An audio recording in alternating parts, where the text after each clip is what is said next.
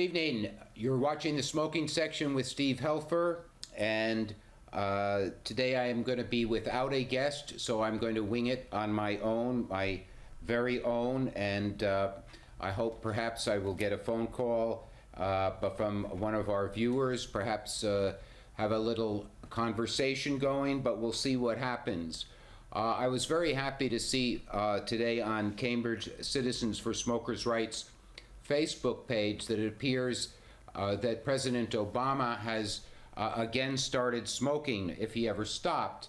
And uh, I think this, you know, he looks very relaxed in the photo and he's uh, grabbing for a cigarette, is what it appears. And I think this is important because uh, it shows that uh, he may be reclaiming his autonomy and not kowtowing uh, to the anti smoking Nazis uh, who have made smoking symbolic of uh, someone who does not do what he's supposed to do. So I think uh, he is asserting perhaps his individualism. And, and, of course, I think it would make him a better president, uh, reducing his uh, anxiety, improving his concentration, making him more tolerant. And I, I, think it would be actually very good if more and more people in the government did smoke. I think they would be able to broker those deals that used to be made uh, when lawmakers could sit around and smoke cigarettes and smoke cigars and smoke pipes. Uh, and like Native Americans, uh, instead of disagreeing and not compromising, uh, the influence of tobacco, which of course goes way back in our country in the Americas and uh, was used uh, in councils. Uh, Indians would never ever go into a council with another tribe or even amongst themselves without the tobacco, which they believed made them think better and understand their enemies are those people with whom they disagreed with better. Uh, so I think that if President Obama resumes smoking, it would really be nice if he did it in a very open way. Uh, and perhaps now that he is a second term uh, president and does not have to worry about reelection, it would be very interesting uh, if he reversed the ban that Hillary Clinton put in the White House where she was the first, uh, she was the first uh, to decide that the White House would be no smoking. Of course, any president, I assume, has the, the power to reverse that. Uh, I think it would be nice, uh, but I'm not hoping, uh, I'm not going to bet on it. Because I don't think, I, I, I, just can't imagine the kind of um, storm that would ensue if President Obama again started smoking uh, openly. Uh, but again, I think this is a very good development, uh, very encouraging, uh, and I'm very glad uh, to see it on our Facebook page today, a very good photo. Uh, of course, I guess more will come out on it. I don't know when this photo appeared. I haven't seen anything about it in the Boston Globe yet, so we'll see what's going to go on then. Uh, it was interesting that um, I got in a little discussion uh, with a reporter in the Boston Globe recently uh, because she had written uh, regarding the closing of the Harvard Primate Lab, which uh, was in Westborough, Massachusetts, and has been around, oh, I don't know how long, I assume 60 years or so, where they have done research on primates, which I think is another word for monkeys, uh, or gorillas or chimpanzees, and they've had a lot of problems out there because uh, sometimes uh, the animals were not uh, taken care of properly, and then of course there are many people who are uh, ethically opposed to animal experimentation, uh, particularly when it's done on a uh, in, in a way that cause, could cause uh, pain uh, to the animals, which of course is very understandable. But according to the Boston Globe, uh, Harvard scientists uh, showed, quote, unambiguously, end of quote, that nicotine was addictive. And I had just been to a uh, panel discussion at Harvard recently where a neuroscientist named Joshua Buckholtz had said that it was, quote, a dirty secret, end of quote, among researchers that it's very, very, very hard to get animals addicted to any drug. Uh, and I wrote the Globe and I said, I asked the reporter if she could or if she would give me a reference uh, for that particular uh, part of her article, asserting that Harvard researchers showed unambiguously with animal experimentation, experimentation that nicotine was addictive. Uh, and she wrote me back that because she was leaving the Globe, she didn't have all her notes handy, uh, but uh, that it was from some uh, so, some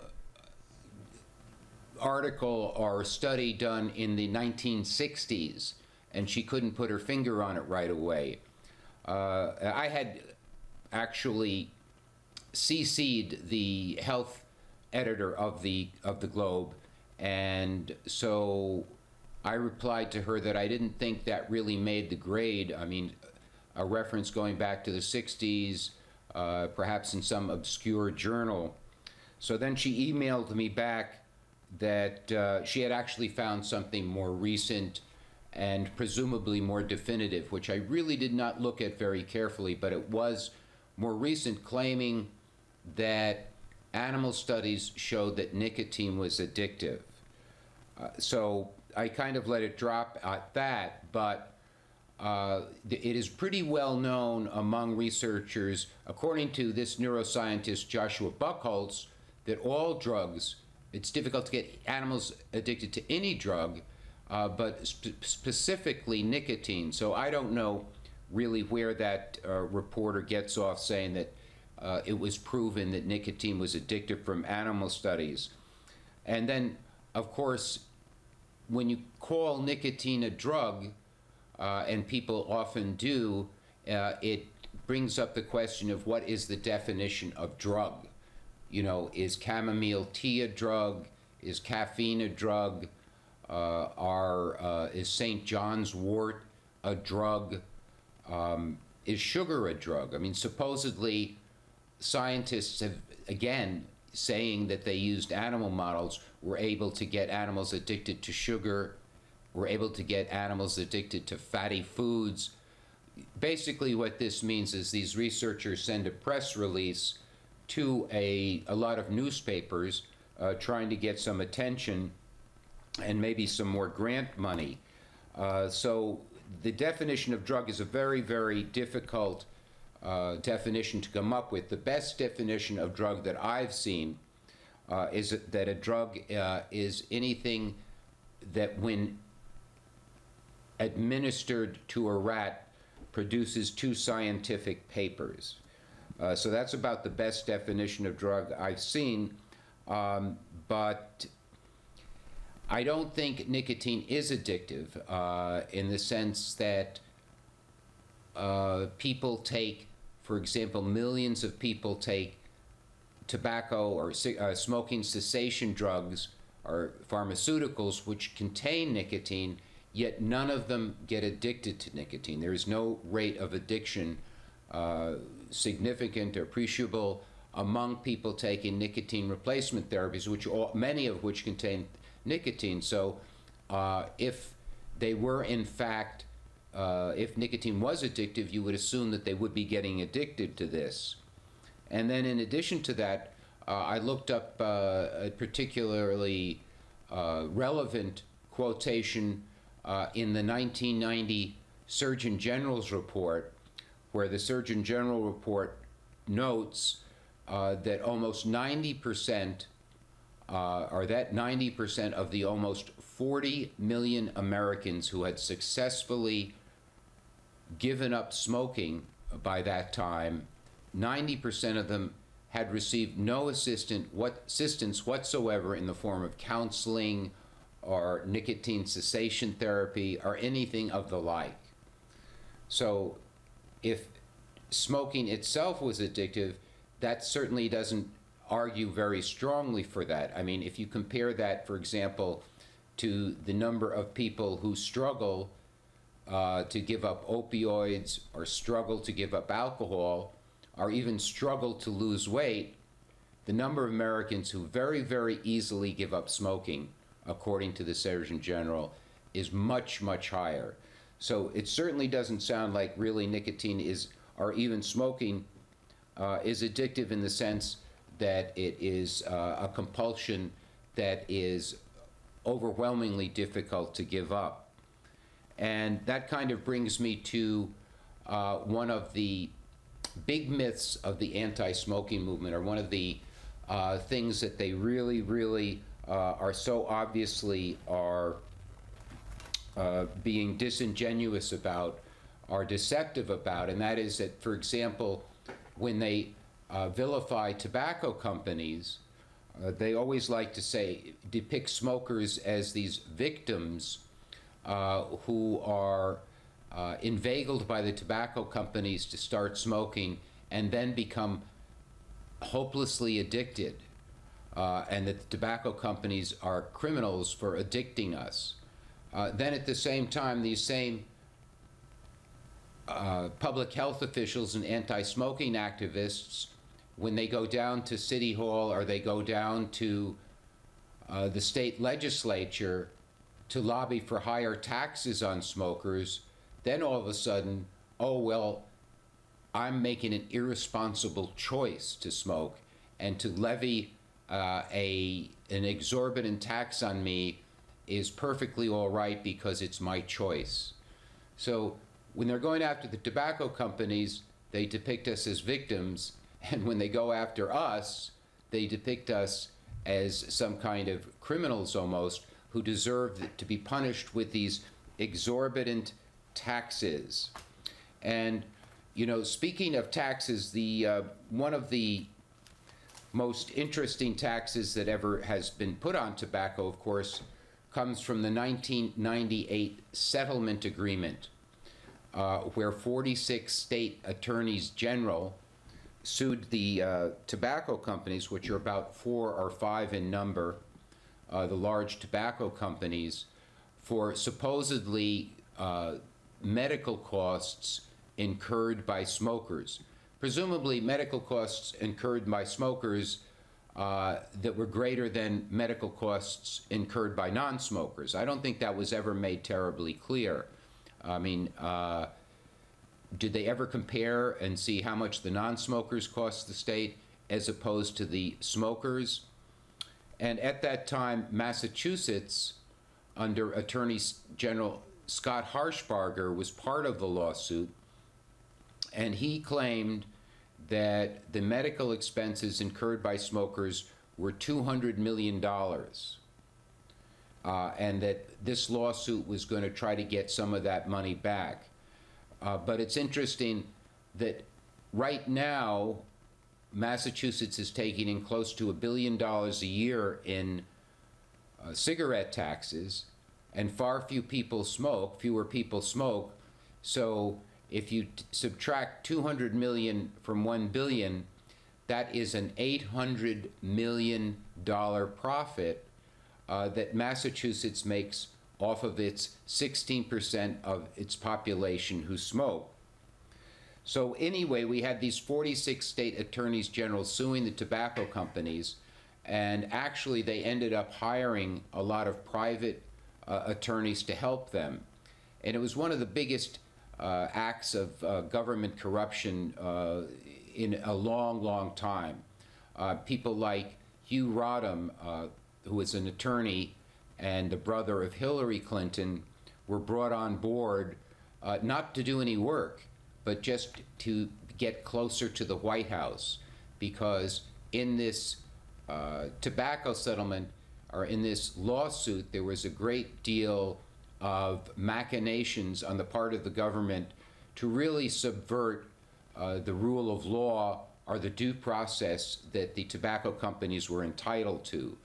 So it was really a stacked deck with 46 state attorneys general, uh, in cahoots with the White House, uh, with a lot of trial attorneys who had uh, huge war chests made up from asbestos litigation. So the tobacco companies were really up against a wall. Uh, and, you know, I'm going to finish this uh, discussion of the master settlement agreement, but I also wanted to uh, go to our smoker of the week uh, this week, and uh, let's see if we can get him in, into focus, as it were.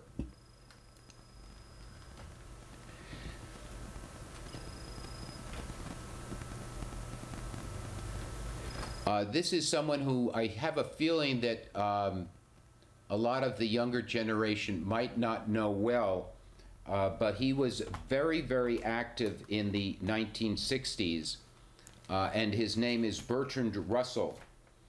Uh, he was a mathematician who wrote a very, very uh, famous and authoritative book on mathematics. And he, during the 60s, he was very, very much against nuclear proliferation. And I believe he may have also been against the Vietnam War, although I don't, uh, I remember mostly being uh, having to do with uh, fighting nuclear proliferation. And he founded um, an organization called SANE, S A N E, uh, and I don't uh, remember exactly what that stands for. But he was once asked uh, if what he liked about smoking, and his reply was uh, that he didn't really like to smoke, but he disliked not smoking. So he was one of those people, I believe, who got up uh, very early in the morning, uh, probably had his pipe uh, before any before even getting out of bed, and continued smoking right up until he went to sleep. And uh, even though uh, he was surrounding himself and probably to a large degree inhaling what uh, the FDA calls a toxic brew of 7,000 chemicals, uh, he lived to be uh, 98 and was very, very active uh, late in life.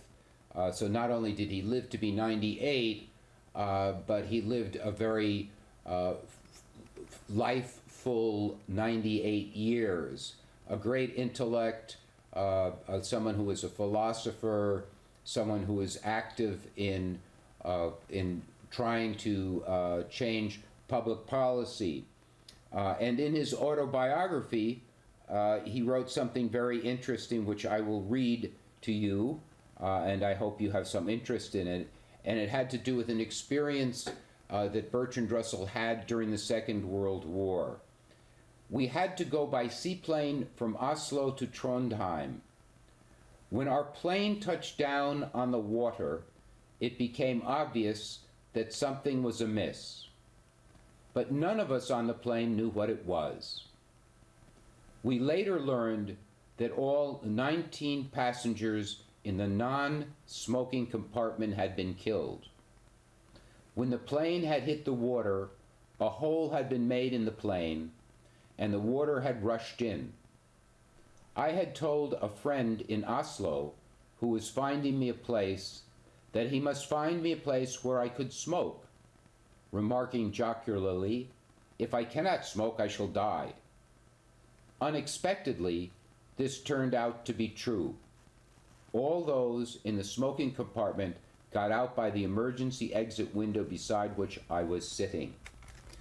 So evidently, at least in that case, uh, if Bertrand Russell had been a non-smoker, or even if he had been just a casual smoker and had said, well, I can sit either in the non-smoking section or the smoking section, uh, he would almost certainly have died uh, and never have had the impact uh, here and uh, in Britain uh, regarding nuclear proliferation and I'm pretty sure the war in Vietnam. Back to the uh, 1998 settlement agreement. Well, uh, the tobacco companies ended up settling, uh, and they ended up settling for approximately $200 billion, uh, which would be paid over a very lengthy period. Uh, and the settlement agreement was structured uh, so that, guess what? Smokers would pay for it. And so everyone who smokes since 1998, who smokes conventional cigarettes at least, uh, is paying uh, on each package 50 cents. Uh, so, th- but the whole thing worked out basically to be a de facto tax uh, that did not go through a legislative body, uh, but was put through by uh, the court system. And um, oh, let's see, I have a I have a phone call here. That's great. I hope you're on the smoking section. Hi, Steve. It's Paul. Hey, Paul, how are you? Uh, pretty good, and I don't know if it's great, but I'll see what I can do. All right, I'm Um, ready. I notice uh, it's it's interesting uh, hearing about these people like uh, Bertrand Russell and so on. Yes. But you know what uh, I find interesting, and it really uh, heightens the contradictions of what's going on today. Tell me. is when uh, you and you know you can check this out for yourself. They got a, a Facebook page called The Art of Smoking, and they have uh, web pages like uh, Smoking Celebs. Right. And the picture that you get from these is that there's a very like thriving smoking culture, you know, that appreciates the aesthetics of it, Yes. the sartorial aspect, Mm-hmm. Yes. and uh, looks very vibrant to me. right. Right. right now, and and like the authorities are completely out of step with this. Well, I hope so. I mean, I hope the authorities are out of step with as much as they possi- can- possibly can be out of step with, so that they take a nice fall soon. I think that's going to be their undoing. Ah, I hope so. But if um, if you see this photograph of Obama uh, casually taking a cigarette out of a pack, uh, or what it appears to be, uh, you know, there is a, a certainly a big aesthetic to that, and. Um, and uh, you know, uh, so I think you're kind of on to something. Uh, although we're under, we're you know this, you know, you have the aesthetic. Uh, Like- you, well, let, have, let me finish and then you go. Okay. You have the aesthetic, but you also have this brute force, which is so powerful. I mean, it's very powerful uh, in Hollywood, and um, you know, can't this brute force? Uh, you think the aesthetic force will actually uh, undo the brute force? Uh, it, well, the brute force doesn't seem to be working in Hollywood Yeah. because just uh, just about every actor and actress that you could possibly name smokes or is an ex-smoker. Well, right. Yes. Yeah. I Uh, suppose so. Dakota Fanning, for instance, I just learned. Mm-hmm. mm-hmm. You know, in our own time, she grew up. Oh, really? No, and she's a young, she's a young one. Yeah. So, uh, yeah, and that's uh, I think like the the uh, contradiction between that and the way the authorities Well, are why, acting. Paul, let me ask you a question. Why is it that kind of- why is it that uh, none of these Hollywood celebrities speaks up uh, or speaks out against That I don't- the anti-smoking movement? I think I heard something about Connie Nielsen being active in her community, Yeah. but yeah, I know what you're saying. they seem to be very cowed, and uh, I mean, you don't hear Johnny Depp say anything about it. No, but on the other hand, there there are pictures of a lot of uh, people, you know, not just shallow celebrities. I mean, like people that have done good work and stuff like that, uh, flagrantly and unashamedly smoking. Like I was going to ask you that picture of Obama. Yes. Does he look furtive? No, not in the slightest. Not in the slightest And is it recent? What's that? Is it recent? Yes, uh, if you will go to our Facebook page, Cambridge Citizens for Smokers' Rights, uh, you will see it uh, very, very plainly.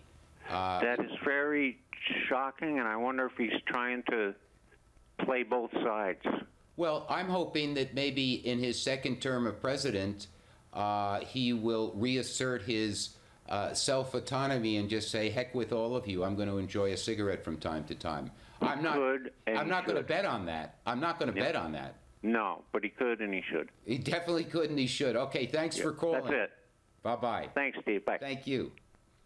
Yeah, I think uh, you know. I think there's room for hope, uh, as Paul is saying, and I mean, uh, as I've mentioned often, uh, in 1990, uh, their goal was a no smoking America by the year 2000. And here it is, 2015, and the official figure for uh, people who smoke is 42 million of us. And not only 42 million of us, but more and more states are depending on our tobacco taxes. And, um, you know, I think uh, groups like Cambridge Citizens for Smokers' Rights are having some success, particularly here when we put, we were able to persuade the council not to ban smoking in all parks. Uh, now, um, I'm just going to finish up today. Uh, I hope anybody who's watching will, um, you know, like us on Facebook or get in touch with us. We're here. Uh, we don't bite. Um, and, uh, you know, uh, instead of going home and complaining about how high your tobacco taxes are, or that uh, you can't smoke in your apartment, uh, et cetera, et cetera, give us a call. Uh, we're there to help, uh, and we like to help, and it is important to be active. So remember, Cambridge Citizens for Smokers' Rights, visit us on Facebook.